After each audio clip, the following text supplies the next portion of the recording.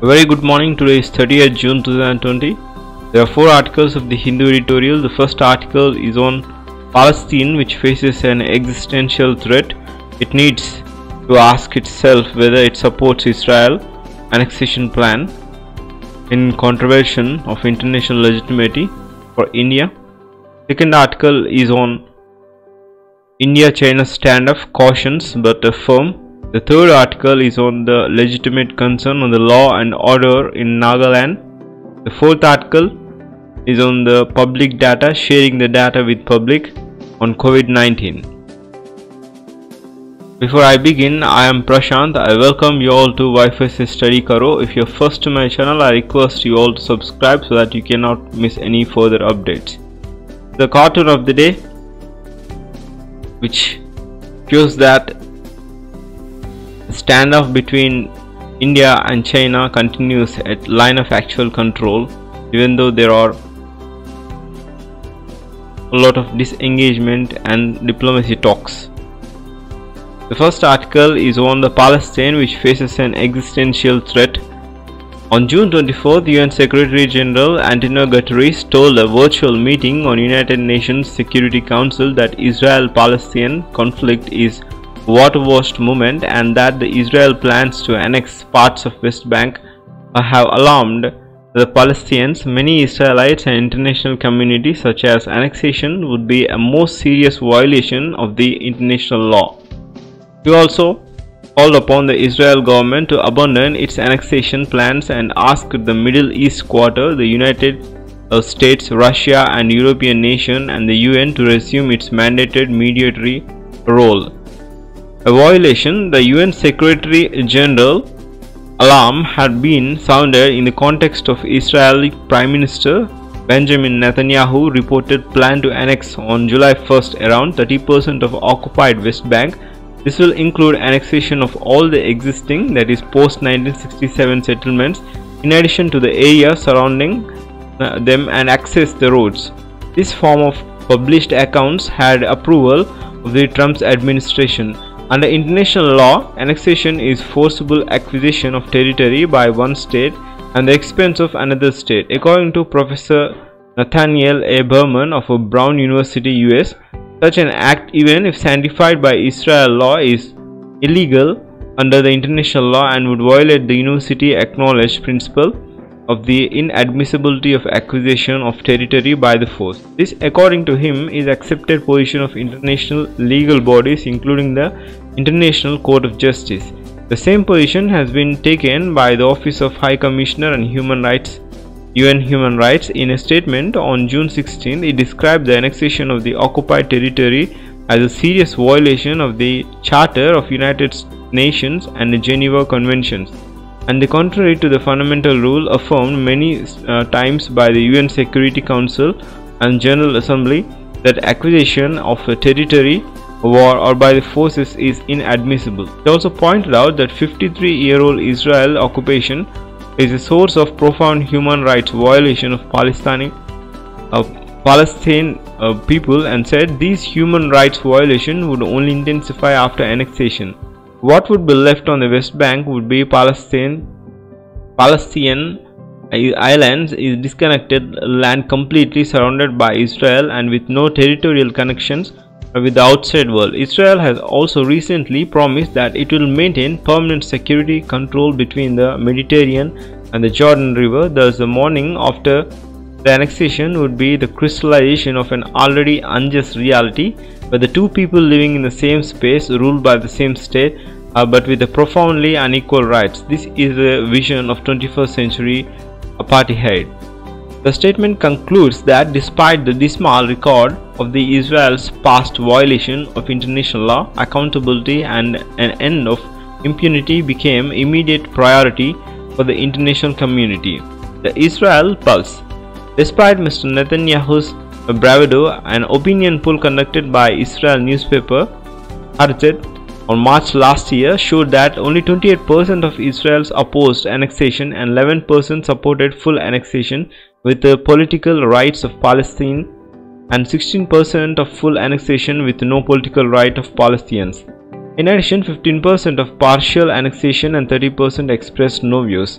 An interesting and unprecedented entrant in the debate is the opinion article titled It's Either Annexation or Normalization written by Hebrew by United Arab Emirates ambassador in Washington published in the Israel's newspaper Yediot Ahronoth.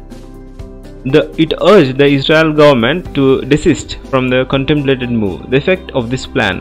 What would be the consequences of such move? Would Palestinians living in annexed area and owing around 23% of its land retain the private property is another question. Would they be enshrined in the legal framework of two-class population divided by ethnicity and given Israel residency as a category of subjects of annexing equity or entity? Would they be a par with Israel's Arab and Palestinian origin that is Muslim, Christian and Druze together constitute about 20% of Israel's population?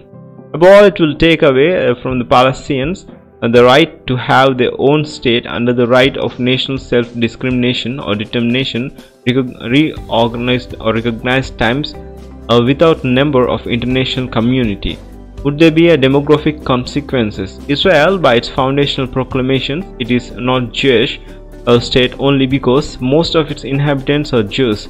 It is a state of Jews whether there may be or for uh, any Jew who wish to be here. Its officially ideology of Zionism, somewhat analogous to the other doctrines of the strident nationalism of 20th century, was described much earlier by Vladimir as a colonization adventure and therefore it stands or falls by the question of armed forces. Ever since the War of June 1967, the Israel's effort to have been procrastinate a settlement and change ground realities, Israel today is a member of international community and contributes to international cooperation. It also succeeded in normalizing its relations with a wide range of countries. The observance of the globally accepted norms of the state conduct are reluctant to do this is premised on the support of powerful friends and cooperative geopolitics must uh, this be necessarily to have a permanence. The record of Palestinian residents or resistance and of the protest movements of the world show that the injustice of denial of rights have been no permanence and as uh, Jean-Jacques Rousseau said a long time, the strongest is never strong any strong enough to be always master unless he is transformed into power. India has substantive relation reaching strategic dimensions with Israel. It is mutually beneficial. India's enmity with Palestinian people and its principal support to their cause predates its own India's own independence. On the global stage, we have invariably supported by UN Security Council and General Assembly resolution support of the Palestinian Regarding the Palestinian faces and ex existential threat and how India need to ask itself whether it supports Israel annexation plan or not. This article is penned down by Pal Hamid Ansari, a farmer. Next article is on India-China standoff. After the weeks uh, of more diplomatic wording, the statement by Ministry of External Affairs on June 26th appears to signal that the patient Patience is dealing with the Beijing on reaching at the dead end. The statement said publicly for the first time since the reports of standoff that Chinese build-up and clashes with Indian troops including Galwan Valley incidents on June 15th in which 20 Indian soldiers were brutally killed and had a larger context.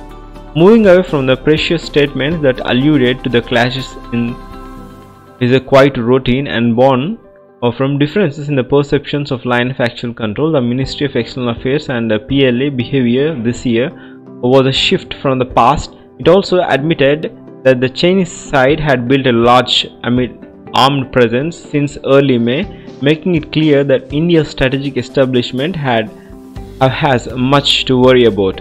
There are also another shift of notes while the, each of the Ministry of External Affairs several references to the situation at line of actual control in May and June had mentioned a dialogue as a way forward its latest statements make it clear that the China's responsibility to restore peace and tranquility along the line of actual control without citing further dialogue. It also warned that a continuation of the current situation would only violate the atmosphere for the relationship. Indicating that the current status quo is unacceptable. In detailing the number of clashes, the use of unauthorized violence on June 15th, and the sheer number of the troops as a weaponry amassed, the government is pointing out that China has violated every agreement on the border peace that the two sides have committed since 1983 agreement. In short, the message uh, in this is not only the situation at line of actual control, but China's action have also probably undone decades of careful negotiation on the boundary. Given all that, the Ministry of External Affairs statement not acknowledges it is also only inevitable that government will face probing questions and on silence when such a large troop mobilization by China threatened India's frontiers weeks ago and whether it signals out of Beijing that this build-up was intended. Other questions remains uh, Modi insistence and the Ministry of External Affairs consistent stand-up that Chinese troops have done have not come across the line of actual control and that there has been only attempted transgressions by the PLA. Satellite pictures and media accounts points to the contrary, the government must now ensure some clarity. The nation must be apprised on the challenges and steps planned beyond ongoing military diplomacy exchanges to ensure the status quo ante prior to May is restored by China. Each step, whether it involves military action, international support, or sanctions by banning Chinese product or participation of Chinese telecom and other companies, will come a serious consequence. The government must ensure wide consultations, simultaneously preparing the people for what it may follow regarding caution but firm on India-China standoff. The next article is on the law and order in Nagaland.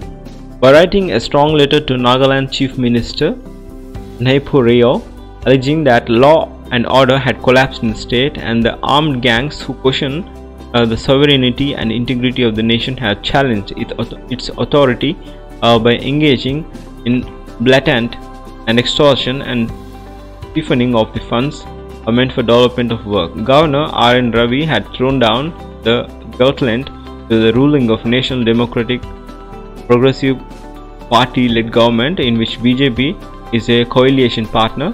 The governor went on, a, on to write that the functions as transfer and posting of officials who are in charge of law and order above the district level will be done with his approval and proposed under the Article 371A the Constitu Constitution.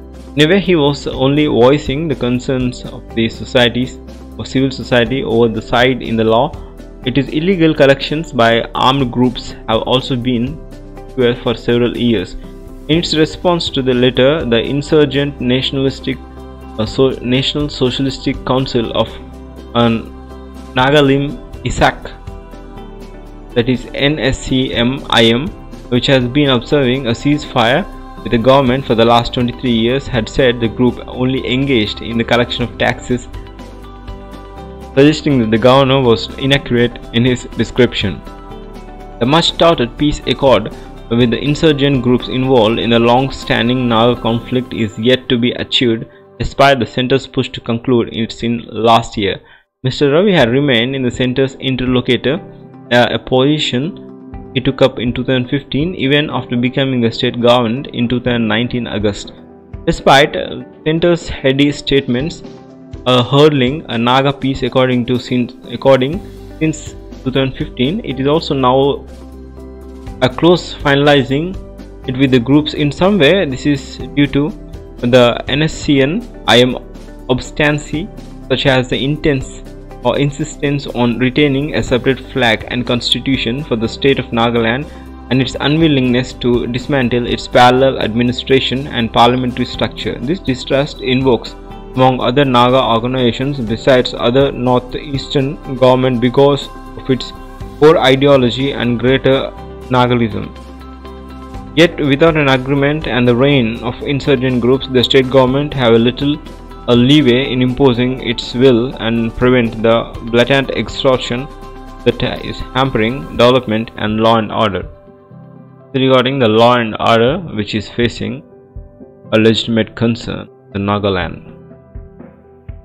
The next article is regarding the COVID-19 data. The unsatisfactory state of India's data collection and processing system among uh, many systematic deficiencies exposed by the pandemic, it is also highlighted by the recent upward revisions of the COVID-19 death toll in some states. Apart from this implicit acknowledgement of the discrepancies in the data handling process, there is also allegations under the report of COVID-19 cases in general uh, on every issue encountered during the last three months from migra migrants, travels, the inadequate fiscal package, a lack of reliable data in the public domain has hampered search policy alternatives. From 2006 onwards, several open source software enthusiasts and civil society activists come together in US UK a demand to unlock the data gathered by the government for uh, unfettered access and refuge by the citizens.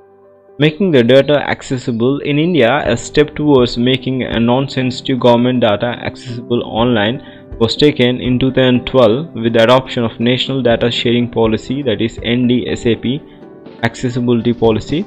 However, the implementation had lagged far behind its stated objectives. The main thrust of this policy is to promote data sharing and enable access to the Government of India own data by national planning and development and awareness. The implementation guidelines for NDSAP includes the lofty ideas or ideals such as openness, flexibility, transparency, quality of data, and the aim to facilitate the access of the Government of India shareable data in machine readable form.